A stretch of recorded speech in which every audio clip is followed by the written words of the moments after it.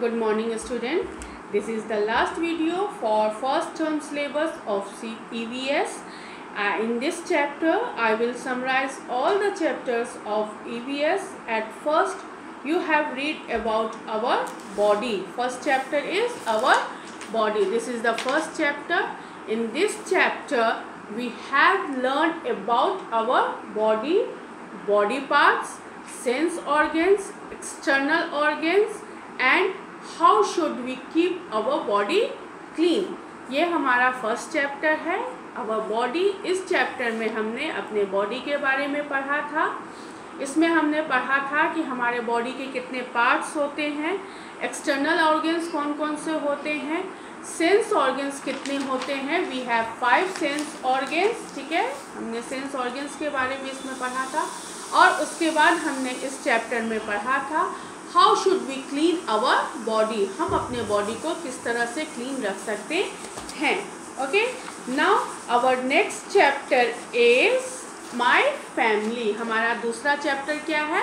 My family in this chapter we have learn about our family our parents our grandparents joint family and nuclear family इस chapter में हमने अपने family के बारे में पढ़ा था, अपने पेरेंट्स के बारे में पढ़ा था, अपने ग्रैंड पेरेंट्स के बारे में पढ़ा था।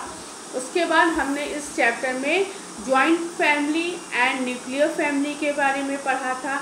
We have also learn about our surnames हमने अपने सर्ड नेम्स के बारे में पढ़ा था, जो हमने बताया था कि the members of a family share a common last name. This is called our surname. हमारे फैमिली के जो भी मेंबर्स हैं, वो क्या करते हैं, अपने नाम का लास्ट नेम जो होता है, वो लोग सभी एक दूसरे से शेयर करते हैं, जिसको कि हम सरनेम कहते हैं। Okay now third chapter is festivals and fun time this is our third chapter festivals and fun time. In this chapter, we have learned about how we should spend good time with our family and friends. हमने इस chapter में पढ़ा था कि किस तरह से हम अपने फैमिली मेंबर्स और अपने फ्रेंड के साथ अच्छी टाइम को स्पेंड करते हैं we have we have we share our feelings with each other हम इस आ, हम अपने फीलिंग्स को हम अपने जो भी फीलिंग्स होती हैं अपने फैमिली मेंबर्स के साथ और फ्रेंड्स के साथ शेयर करते हैं। हम अप किसी भी तरह के फेस्टिवल्स को या किसी भी तरह के ओकेजन्स को हम अपने फैमिली के साथ सेलिब्रेट करते हैं okay now we have go to with family members in museums fairs ठीक है, हम अपने फैमिली मेंबर्स के साथ म्यूज़ियम घूमने जाते हैं फेयर्स में, मेलों में घूमने जाते हैं। उसके बाद we go to outing for our parents parents के साथ हम आउटिंग के लिए जाते हैं पिकनिक के लिए जाते हैं। We play many indoor games and outdoor games with our friends हम अपने फ्रेंड्स के साथ बहुत सारे इंडोर गेम्स आउटडोर गेम्स खेलते हैं। Okay now next chapter is food for health this is our fourth chapter food for health. All living beings, plants, animals, human beings, all be, uh, living beings need food to stay alive.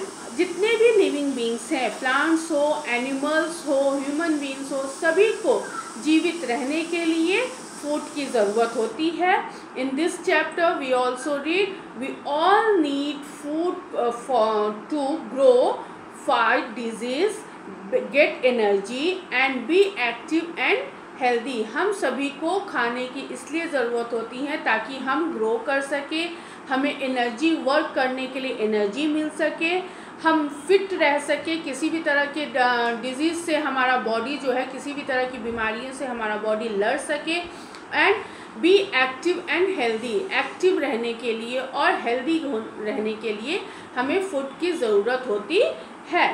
And uh, other topics are sources of food. Next topic is sources of food. There are two main kinds of food, uh, sources of food. First is plant and second one is animals okay? Now next topic is kind of food okay? There are three kinds of food. First is energy giving food. Second is body building food. And third one is protective food okay? In this chapter we have learned this main main topics okay? Uh, now next topic uh, next chapter is our water. Water our basic need ठीक है? पानी जो है वह हमारी एक basic need है। जिस तरह से हमें ज़िंदा रहने के लिए खाने की ज़रूरत होती है उसी तरह से हमें जीवित रहने के लिए पानी की भी ज़रूरत होती है।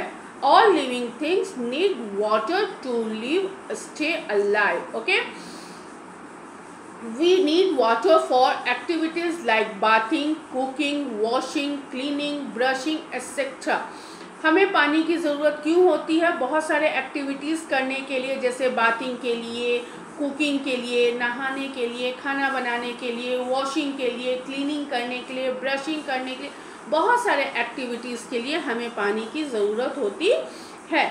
All living all animals also need water to water for drinking and bathing जितने भी एनिमल्स हैं, उनको भी पानी की ज़रूरत होती है पीने के लिए और नहाने के लिए। Plants need water to grow plants को पानी की क्यों ज़रूरत होती है? ग्रो करने के लिए। जब हम एक छोटा सा सीड लगाते हैं सॉइल में तो हम उसमें क्या करते हैं? पर डे उसमें हम क्या करते हैं? सुबह और शाम पानी देते हैं। और उस पानी से वो प्लांट क्या होता है? वो जो सीड जो हमने सॉइल में डाला है, वो धीरे धीरे ग्रो करके एक प्लांट का रूप लेता है। There are many more activities of which we need water water से और भी बहुत सारे एक्टिविटीज़ हैं जो कि हम करते हैं। First one is water help to digest the food we eat हम जो भी खाना खाते हैं वाटर उसको डाइजेस्ट कर देता है it also help in flushing out the undigest food from our body हमारे बॉडी के अंदर जो भी अनडाइजेस्ट फ़ूड हो जा, हो रहता है वाटर उसको क्या करता है? बाहर निकालने में भी हेल्प करता है। Many plants grow in water बहुत सारे ऐसे प्लांट्स हैं जो कि पानी में ग्रो करते हैं। Many animals live in water पानी में बहुत सारे एनिमल्स भी रहते हैं। Plant need water to make their food. Plants को पानी की इसलिए ज़रूरत होती है ताकि वो अपना खाना बना सके। Next topic is where do we get water from where do we get water from हमें पानी कहाँ से मिलता है? तो there are two main sources of water first is natural source and second one is man made source तो natural source is rainwater, waterfall, river, pond. These are called um, natural sources. Okay, and tap, hand pump, tube well. These are called man-made sources of water. Okay. Now next topic is sources of water. Rain is the main source of water. Okay, बारिश का पानी जो है वो water का main source है and the other source of water is snow on the mountain और जो अदर सोर्सेज है, वो है स्नो माउंटेन पे जो स्नो जमा हुआ रहता है, वो आपका अदर सोर्स है पानी का. ठीक है? Next is next topic is presence of water in food कुछ फूड्स ऐसे होते हैं जिसमें कि नेचुरली पानी रहता है प्रेजेंट रहता है. For example watermelon melon orange ये सभी में ऑलरेडी पानी रहता है। वेजिटेबल्स लाइक स्पिंच इसमें भी पानी रहता है। Milk also contain water water is presently naturally और in this food item and therefore such food is good for health ये जितने भी फ़ूड आइटम्स हैं, इसमें जो पानी है, वो नेचुरली रहता ही है। इसलिए ये सारे फूड्स हमारे बॉडी के लिए बहुत ही अच्छी है, अच्छे हैं। हेल्दी फूड्स हैं इन्हें ही हमें अपने हमें डेली खाना चाहिए okay see you next video